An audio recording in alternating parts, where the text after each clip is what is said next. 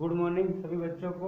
आज हम जो सेकंड सेकंड चैप्टर का जो अगला टॉपिक है, नर युग्म को जीत का विकास, वो पढ़ेंगे। इसके अंदर मैंने आपको बताया था नेक्स्ट क्लास के अंदर के भी परागकण क्या होते हैं, है ना? नर युग्म कोषविद क्या होता है, मादा युग्म कोषविद क्या होता है वर्तिकाग्र क्या होता है, जायांग क्या होता है, ये सब मैंने बता दिया था आपको। इसके पहले मैंने आपको बताए थे बीजांड किसे कहते हैं, है ना? तो आज हम क्या पढ़ेंगे कि जो नर और मादा जो का निर्माण होता है, जैसे परागकण पुकेसर का कैसे होता है तो मैं पुकेसर के बारे में बता दूँ पुकेसर का जो पराग कोश है, वो कैसे बनता है? जैसे हमने देखा था, इस प्रकार से होता है ये, है ना? ये वाला जो भाग देखा था ना हमने, एंथर जैसे हम कहते हैं, ये ये, इसकी बात कर मैं पराग कोश जिसे हम इंग्लिश में बोलते हैं एंथर। एंथर की बात कर रहा हूँ मैं, कि भाई एंथर, ये कनेक्टिव टिश्यू है और ये फिलामेंट है, यानी अपन कह सकते हैं पूतंतु, है ना? और ये संयोजी ऊतक तो ये परागकोश की बात कर रहा हूँ मैं कि परागकोश के अंदर जो पराग कण बनते हैं इसकी बात कर रहा हूँ मैं? पराग कण। और पराग कण से किस प्रकार से डेवलप होता है?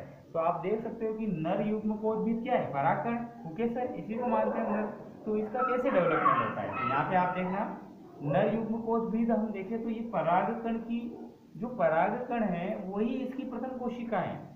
और इसी से युग्मक जनन द्वारा नर युग्म कोशित बनता है। अगर आपसे कोई एग्ज़ाम में पूछे कि गैमेटोजेनेसिस किसे कहते हैं, या नर युग्मक जनन किसे कहते हैं गैमेटोजेनेसिस क्वेश्चन आता है ऐसे क्वेश्चन कि युग्मक जनन किसे कहते हैं? तो परागकण से नर युग्म कोशित के निर्माण की जो क्रिया है, वो युग्मक जनन कहलाती है ध्यान रखना युग्मक जनन। जनन किसे कहते हैं? अगर क्वेश्चन आता है, युग्मक जनन किसे कहते हैं? तो आप ध्यान रखना कि परागकण से नर युग्मकोद्भिद के बनने की जो क्रिया है, वो युग्मक जनन कहलाती है, सीधी सी भाषा। अब होता क्या है इसके अंदर? तो परागकण इसकी प्रथम कोशिका है तो ये जैसे मान लो एक परागकण है। अब परागकण से क्या होगा सबसे पहले?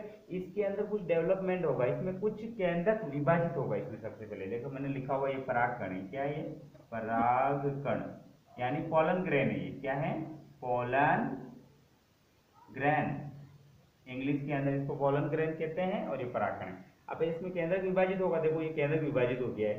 कायिक केंद्र कहलाता है एक जनन केंद्र कहलाता है। फिर और डेवलप होगा इसके अंदर और फिर कायिक केंद्र तो क्या बना देगा? कायिक कोशिका बना देगा और ये जनक केंद्र जो है जनक कोशिका बना देगा। इस प्रकार से ये पूरा क्या बन गया है? आ, मतलब अपन कह सकते हैं कि ये डेवलप हो गया है। अब इसका और डेवलप भी रूप मैंने बता रखा देखो यहाँ पे। मैंने पूरा नामांकित